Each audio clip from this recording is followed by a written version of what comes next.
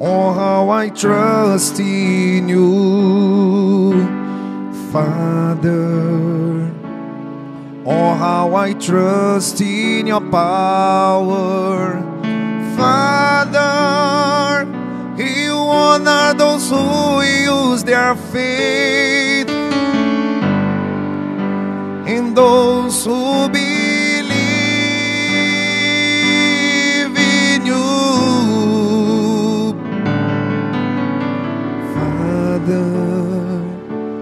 Many have you failed along the way, Father. Men have you given up their faith, Father. But I will not be the same, Father. I will fight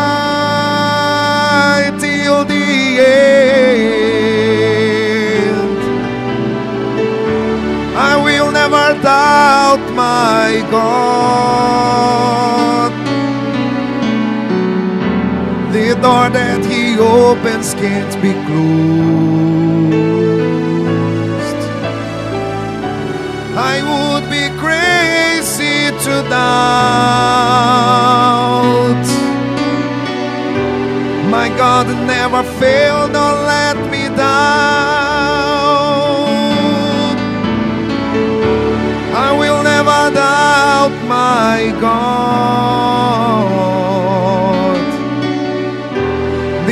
that He opens can't be closed. I would be crazy to doubt. My God never failed nor let me down. My God never failed nor let me down. My God never failed nor let me down. My God never failed nor let me down. Father, many have failed along the way. Father, many have given up their faith. Father, but I will not be the same. Father, I will fight till the end. I will never doubt my God. The door that He opens can't be closed.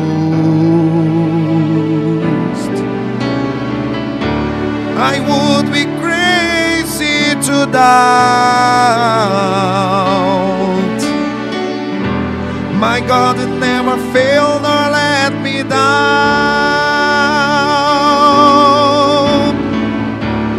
I will never doubt my God. The door that He opens can't be closed. Would be crazy to doubt. My God never failed nor let me down. My God never failed nor let me down. My God never failed nor let me down.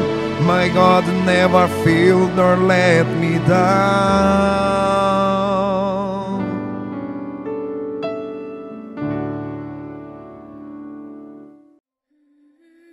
Name is Sita Mohes. I am from Devi. I had problems with my husband, and from that, it started. All the sickness, all the problems came up with like sleepless night, pains in my body, and um, after that, I get like something like a virus, and from that, it never, it never leave my body until I see many doctors, private. I went to the doctor about seven months. I, took treatment about seven months on private doctors, spending a lot of money. Then eventually they gave me a letter to go in the San Fernando clinic and join the clinic, which I don't have to pay. So I got all from lungs tests. I do lungs tests at Mount Hope Hospital. I do um, chest, x-ray. I do um, stress tests, blood tests, and when I ask, see, go to the clinic, when I ask, they say um, I have to go through back a next test again. So I, I became frustrated. I had no money, so I stopped seeing the private doctor. I drew out my money from the bank, see the private doctor. When I finished, I started to go to the, the well, the health center, the hospitals, free, everything, medication free. When sometimes we don't get the on the dispensary the medication, you have to buy. I just cannot, I don't buy it because I have no money. The point at one time, I feel like commit suicide. I had no faith. I was losing my faith. I was prepared to kill myself. As I started to think, I put on the television. The pastors them was praying for people, and I went down on my knees, and I started to pray. Gone to work, and um, come by my daughter, finish work.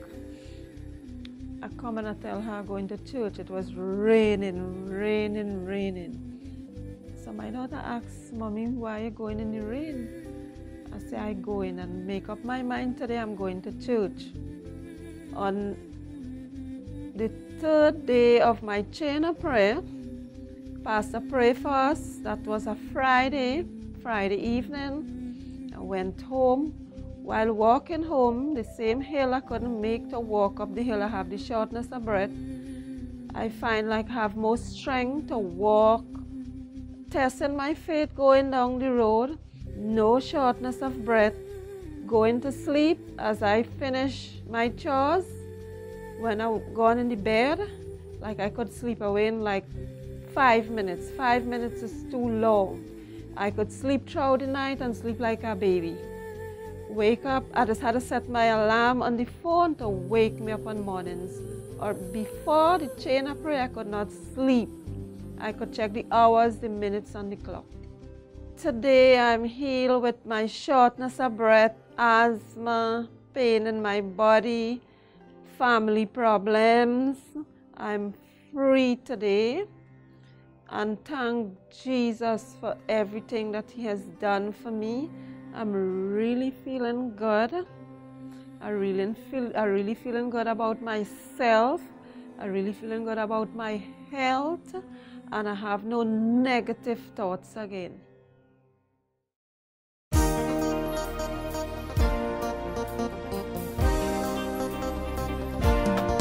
You're my creator. Lord, you know my times seasons of breakthrough, my seasons of trials. So I will seek you,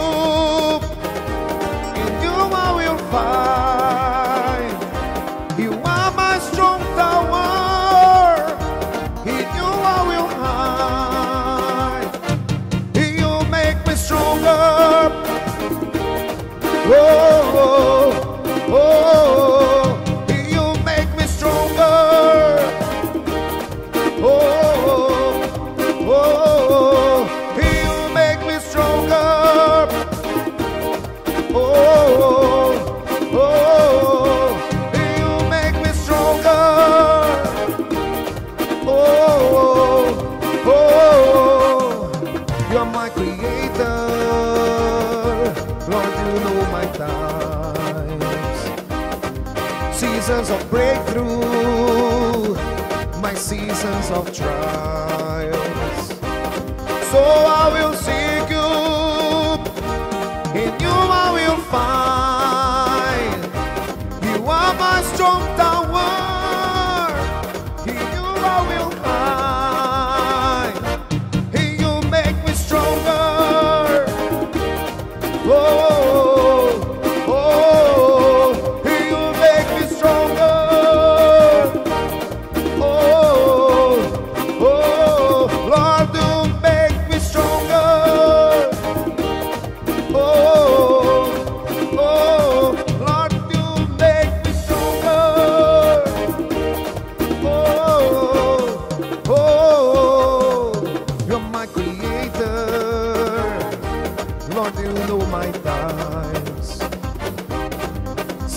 of breakthrough, my seasons of trials.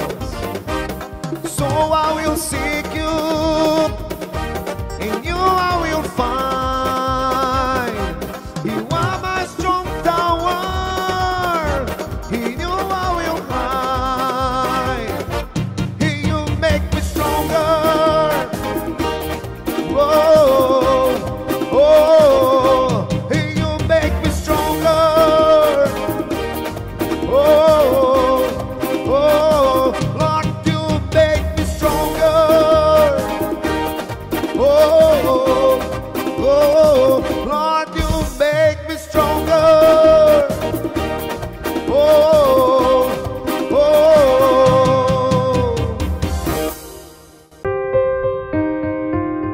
What really happened to me, I had fallen from a step home in 2012, and that changed my life entirely. And Uh, that changed your life after you took that fall. That changed your life for good or for bad? well, well, I will say it changed my life, but for good, through my faith, it changed it in a different way. Because But when you took the fall, how was it?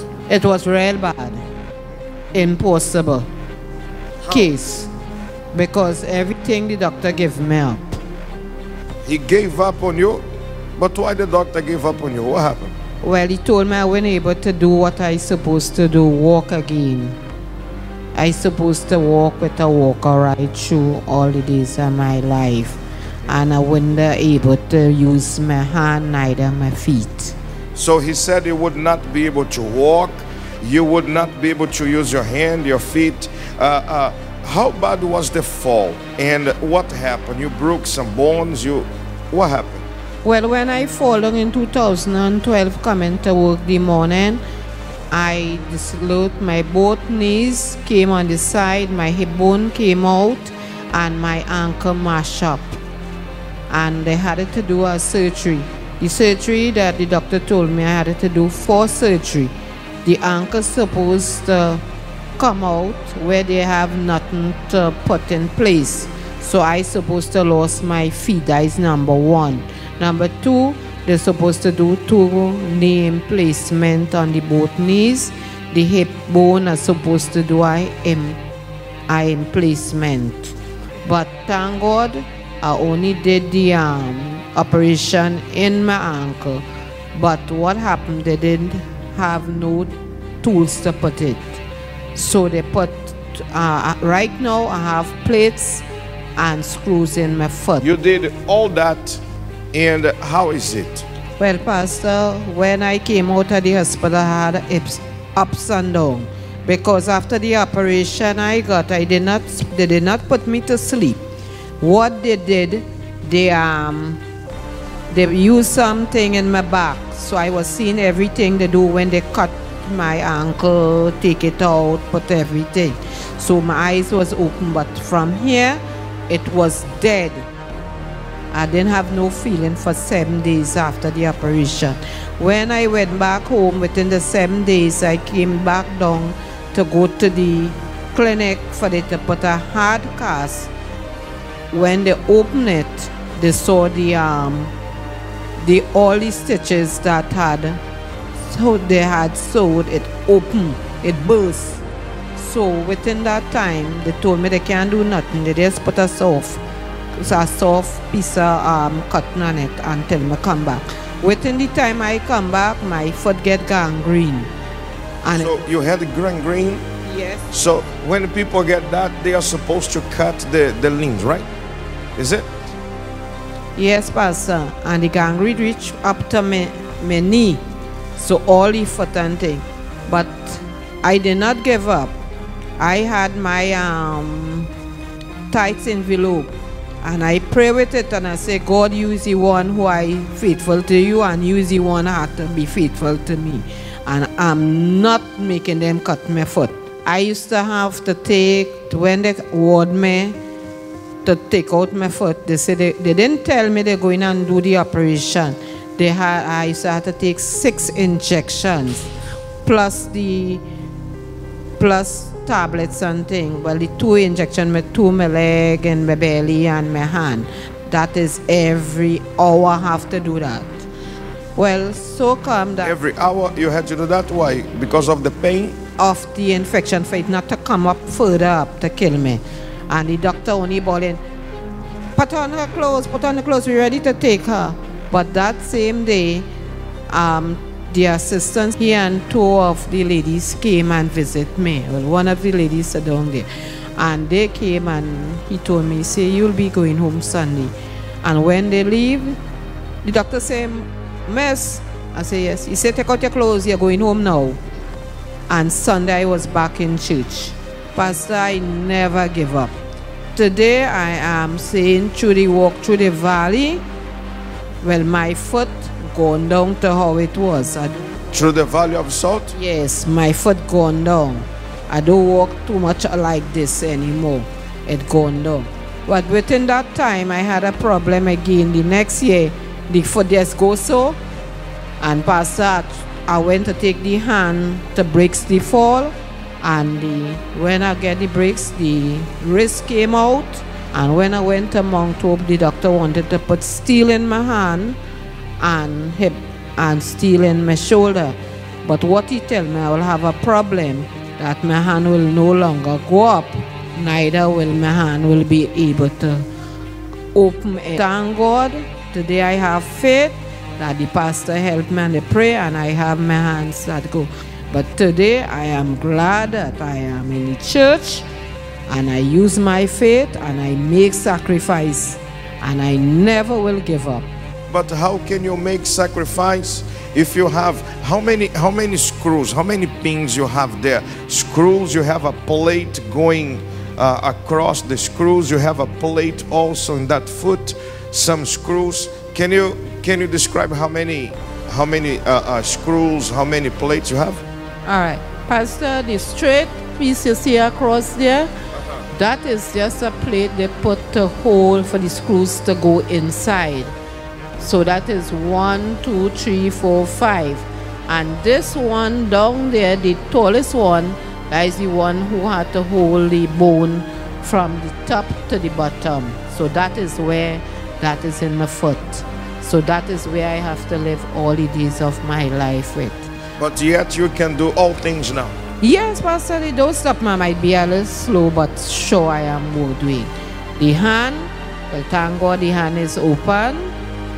And thank God the shoulder, it have a little problem, but I just make that a problem to nobody. I still just do what I had to do. I could wash, I can go. Pastor, it was a very hard time for me because where I live, so I live on a fourth floor. I had to come down 55 step. And when I come down that 55 step, I had to walk half a mile. That is every day I just do that to come to church. Don't lose faith because if I could do it, anybody could do it. Because I came downstairs with a walker. Nothing ever stopped me. And nothing will ever stop me again. Amen. Praise God. Clap your hands to Jesus, people. Very strong. God bless you, Mama.